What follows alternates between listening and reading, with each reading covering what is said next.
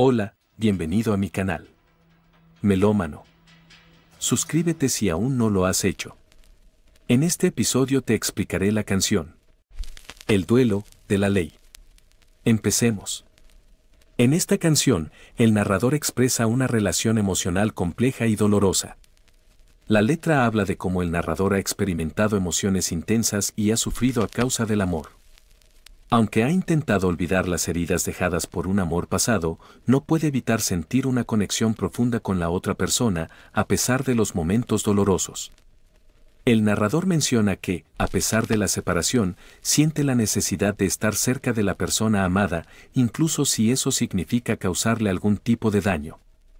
La referencia al instinto taurino sugiere que existe una fuerza interna y primitiva que los impulsa a acercarse, aunque esto resulte en dolor.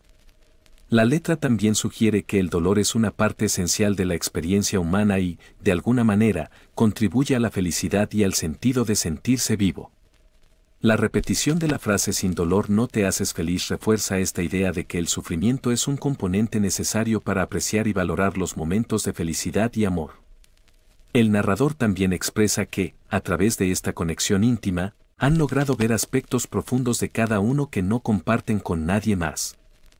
Aunque esto lleva a momentos de vulnerabilidad y, a veces, incluso a sentimientos de querer matar lentamente esos vínculos emocionales para evitar el sufrimiento, la conexión persiste.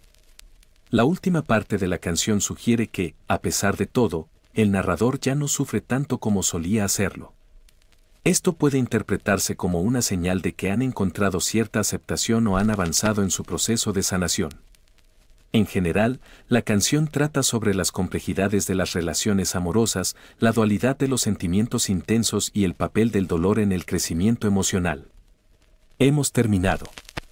Gracias por ver el video, te dejo el link del video original en la descripción. No olvides suscribirte. Fin.